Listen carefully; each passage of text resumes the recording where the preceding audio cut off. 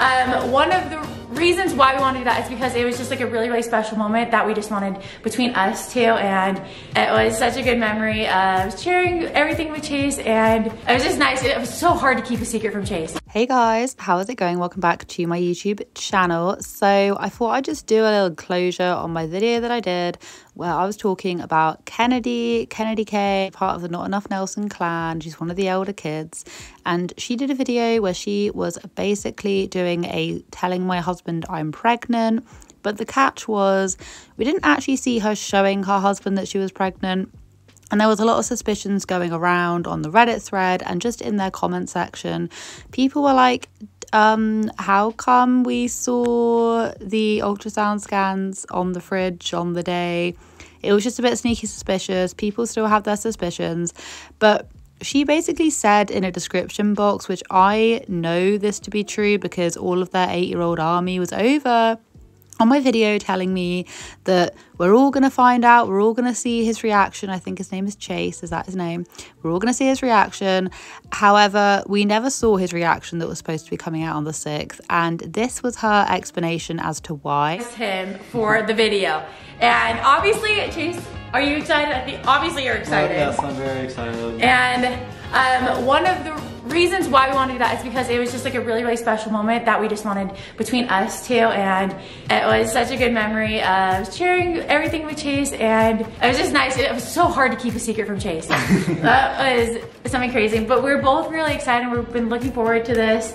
Now, I was actually sent this comment, which I am half in minds about. I'm a little bit like, yeah, do I reckon they realize that, or like, KennaDee realized that actually people were cottoning on to the fact that it wasn't a real video. Like she had already told him ahead of time. She just wanted to get this video out there for the clicks and the views because typically these kind of videos do so, so well on trending, especially with like, you know, mother care and all of that.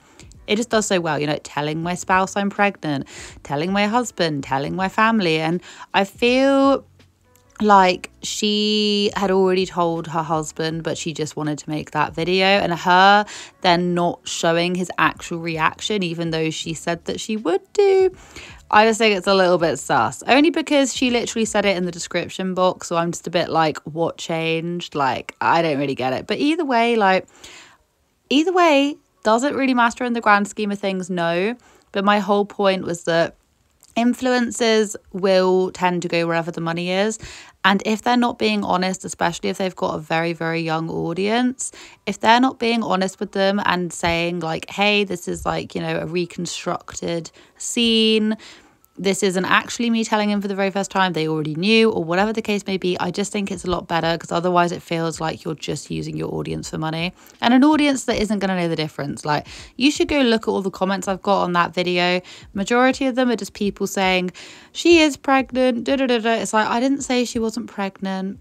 I never once said that. I actually congratulated her within the very first minute of even talking. So I don't think a lot of people really watched that video Philly, but you get what I mean. There's also a flip side of it as well, where her sister, Cass, Cassidy, just Cass, basically has struggled with conceiving a baby. They have documented it. She has documented it a fair bit. And, you know, when anyone struggles with infertility, it is super sad. And you know, it is, it is super sad. There's been a lot of conversation back and forth of people saying, you know, is she jealous of KennaDee? There's been a lot of, um, you know, pit, there's, there's been a lot of um, comments thrown around saying, how come you haven't filmed her reaction? Why haven't you filmed Cass's reaction? And the thing is, is that infertility is such a serious thing. And if someone's struggling to get pregnant, no matter how much they do love their family member, it's always going to hurt a tiny little bit. And Cass did say that she did come out with a video. And before I play any of these videos, I just want to make it first and foremost known that I've never for one moment thought that there was any jealousy going on. I mean, they're sisters. Like, Cass's reaction probably isn't going to be filmed because it's probably a little bit of a sensitive topic to her. That being said, I don't appreciate just generally what Not Enough Nelsons are about on YouTube. I think I've spoken about this enough already. Uh, I don't like the exploitation of the children. I don't like the fact that the lack of privacy that, that the kids are given. But that doesn't mean to say that I think that the kind of level of hate directed towards Cass revolving around this pregnancy is fair. I don't know. It is an odd dynamic, but there has been a lot of people saying that there is some sort of sibling rivalry and I just don't I just don't think so. It's honestly so strange how there is even like a family channel of this magnitude that has like various like there's just so many of them and already we're already on like the grandkids. We're already on the grandkids gonna be like, you know, made into um made into like YouTube stars. I feel like we've already we've like skipped a whole generation or something. I think I was gonna cry. I was just gonna film a get ready with me. I can take a lot of hate about pretty much everything. The way I look doesn't matter. The way I act, I don't care what people have to say about that. The hate is fine. But when it comes to the point multiple, multiple people say that I hope that she never has the baby, or hope she never gets to experience pregnancy because of how I spend my money or the way I act doesn't fit how they think I should. I've never cried over hate, but when it comes to that, I couldn't take it and I break down because how could you wish that on somebody, especially somebody who's had a miscarriage, who's been struggling with trying to get pregnant. That is just so low. The thing that I don't think people necessarily realize is that she has to act about like 15 years old for her to be in any way relatable to the people that she has watching her. Like, I've watched quite a lot of her content recently, and it's not for me just because she does come across as very immature, she does come across as very childlike.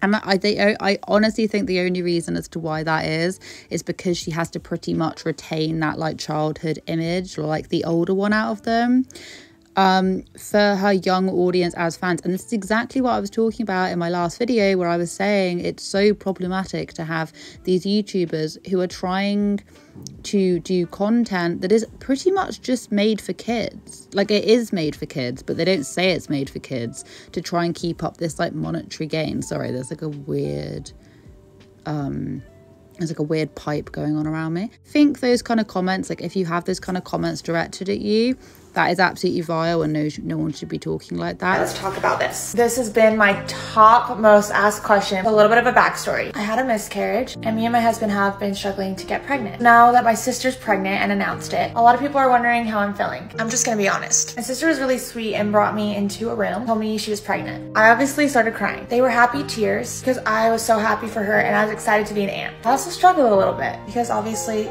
it's hard. What's now been like the consensus as well, not not with everyone. A lot of people have been extremely supportive, but some people are even saying nowadays that it's a little bit strange because I feel like Cass was quite quiet and now she's done like three or four TikToks in a row, basically kind of switching it around and then talking about her. And to be honest with you, I don't like Cass's content. I don't like, I think the whole dynamic of Not Enough Nelsons is just awful. That's just my own opinion.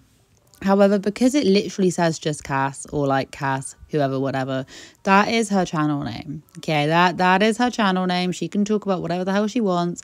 And if she wants to talk about her bad experiences and her um, you know, her mis miscarrying and things like that, like she's perfectly entitled to, and she can do that on her page. Do you know what I mean? So I have also seen those comments as well.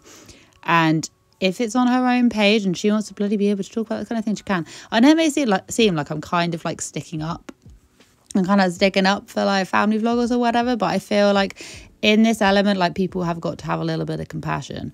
But on the flip side of it, it does irk me slightly just because I kind of feel, and I might be completely wrong, that this might just you know be the start of like a whole you know a whole new wave of kids that are going to be exposed to like family vlogging. And that is obviously also what i think about. It's like it's weird. It's like the kardashians. It's like we now have like grandbabies. Like you know we, we have like um have like small kids on the way. We have we have the grandparents coming up in here. Do you know what i mean?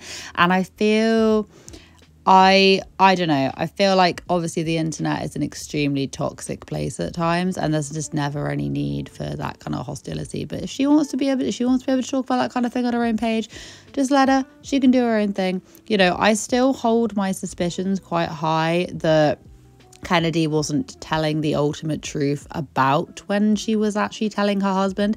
And this, compared to a lot of the other stuff I talk about, is just so like why, like so mind numbing sometimes but I feel like it does need to be spoken about like it does. I mean, these people perpetu- perpetually live online, and I just can't imagine having that much personal information out about myself online where you have like little kids asking the most like the most random questions about your own personal life. It's just it's weird to me. It's weird to me. And I said it in my last video, I would never let my 6-year-old, 7-year-old, 8-year-old whatever watch family vloggers like this because it is yeah i don't know. I think it's strange. You can go watch that video if you if you want to but these are just like my closing thoughts. And yeah i hope you guys have a wonderful day wherever you are in this world.